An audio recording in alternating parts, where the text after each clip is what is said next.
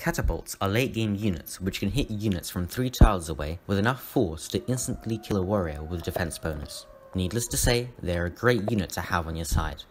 But how do you fight against such units that can bombard you from a mile away?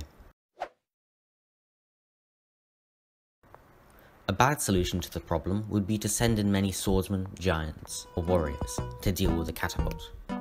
While with enough swordsmen it may get the job done, there would be too many losses and it would not be worth it. The swordsman would simply get shot down. In the early game, dealing with catapults is difficult.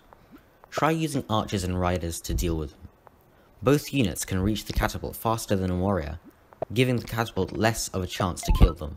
Send two or three at once. That way, the catapult cannot shoot all of them, and at least one unit will reach the catapult to kill it.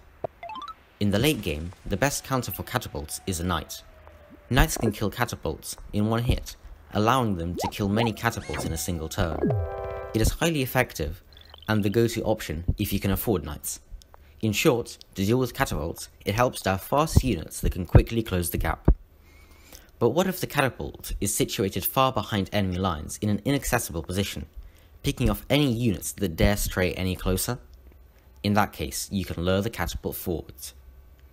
By moving your units a little out of range of the catapult, you can make sure that it doesn't have anything to shoot at. Now, the owner of the catapult has to choose between having a catapult that does nothing, or moving it forward into harm's way.